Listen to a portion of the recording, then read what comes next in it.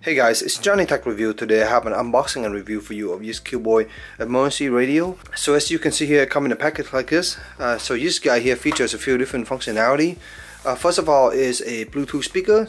It has a built-in battery bank and then it has a built-in LED light and then it can also be used as an FM radio. So a pretty big little unit here. Let's just go ahead and open it. So inside we got a radio cell here we have a smaller user menu about two pages of information. We got a power supply here and look like an auxiliary input cable. So here's the radio as you can see has 12 watt power output so that's for the speakers. You have LED all around here. Uh, up top you have this little antenna here to pull out and this is the antenna for the FM and then we also have access to the little flap here and underneath that flap you have a USB output port and a DC in for charging. On this side here, look like we have some LEDs along with a microphone.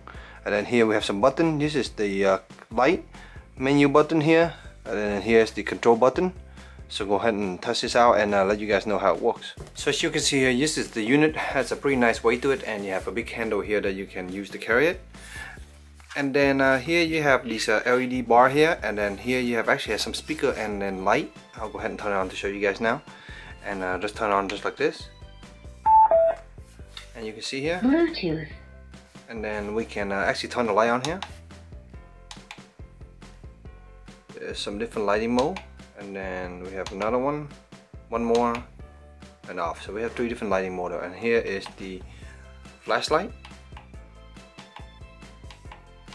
Brightness level right now you see you have a flashlight all the way around which is pretty cool. So it is called the CL680 and it's now connected.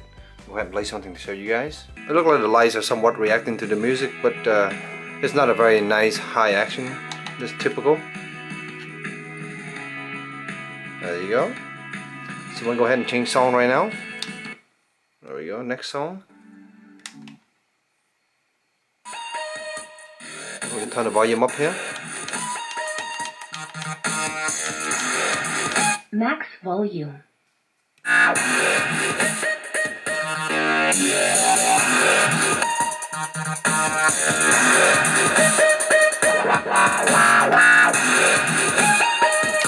Just to give you an idea right now, uh, sound quality is pretty good. Uh, the sound coming through is pretty clean and you have a decent amount of bass now.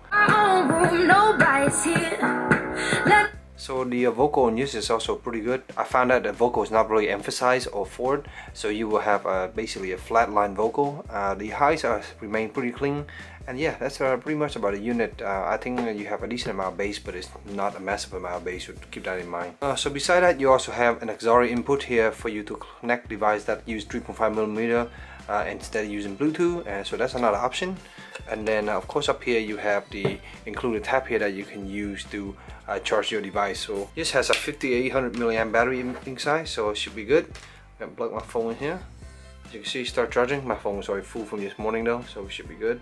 But anyway I'll give you an idea right now. It's pretty cool. And uh, finally I just want to show you the FM radio feature. So there's a little antenna here to come up. And the antenna is about two feet long as you can see. Go ahead and stand this up and switch to FM mode. If you hold down the play button it will automatically program all the station that it found.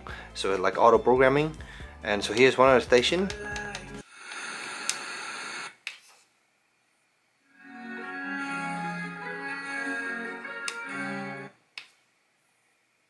from Honda of Concord committed to customer service. And you have to hold down the uh, skip forward button here or rewind button to skip between the station. Uh, other than that the FM also works pretty well. Uh, so guys overall it's a pretty cool Bluetooth speaker. I like the fact that you can use it to charge your mobile device. This device here can take a little bit of water splash and dust as you can see here. Just make sure you close this tab before you start playing with outside. And that it works pretty well and uh, overall I'm uh, pretty pleased with the speakers. It is a pretty big size, but uh, in return you're getting some cool LEDs, some uh, built-in lights here, and then you also get a power bank uh, built into this unit.